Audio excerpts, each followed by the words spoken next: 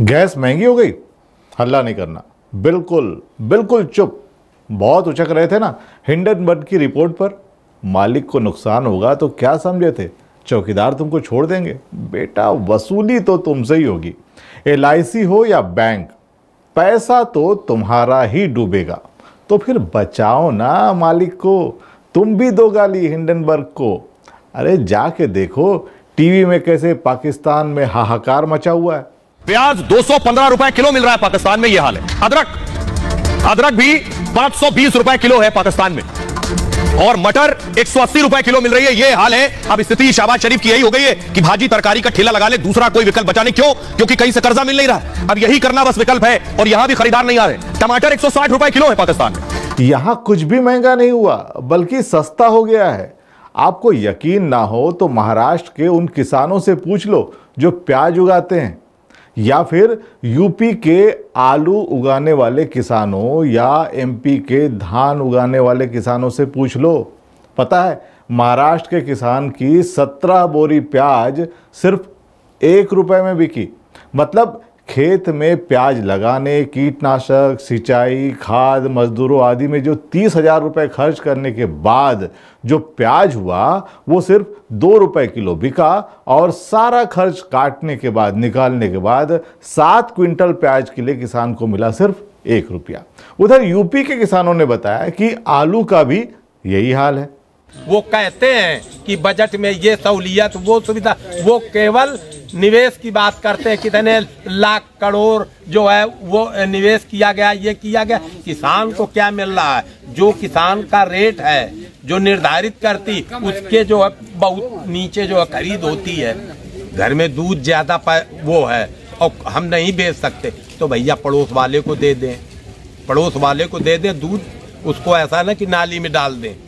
तो यदि किसान के पास आलू का ज़्यादा प्रोडक्शन इन साल हुआ, किसी कारण बस।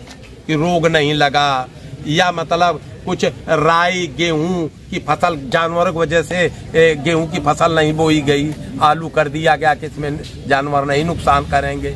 ये सब मिला करके तो इसका दायित्व ये है कि मालिक इस आलू को कहीं थोड़ा बहुत इधर उधर विदेशों में भिजवा दे।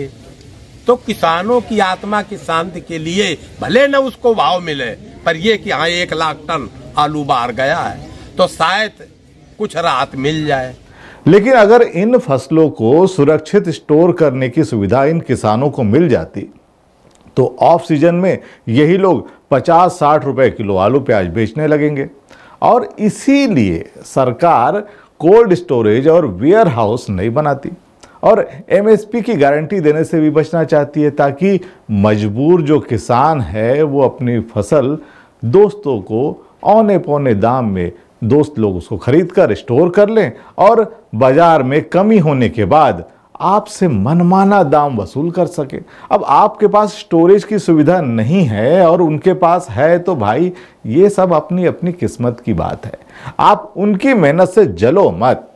उन्होंने बड़ी मेहनत से ऐसा चौकीदार रखा जो उनका बाल भी बांका नहीं होने देगा, भले ही आर्थिक स्थिति खराब होने के चलते आरबीआई लगातार बैंकों से पैसे निकालने पर पाबंदी लगाने को मजबूर हो जाए। लेकिन आप तो बस पाकिस्तान की तबाही देखकर खुश होते रहिए। परिवहन में भी कराची हो या लाहौर गधा गाड़ी चल रही है बेशुमार। और टीवी वालों को धन्यवाद दीजिए जो यहाँ की महँगाई पर रिपोर्ट नहीं बनाते वरना आपका बीपी बढ़ जाता फिर दवाई का खर्चा अलग से।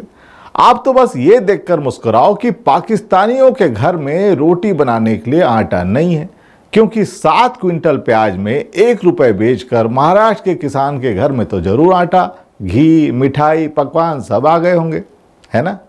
खबर ये देखो कि पाकिस्तानी सरकार के पास अपने कर्मचारियों को पगार देने के लिए पैसे नहीं है।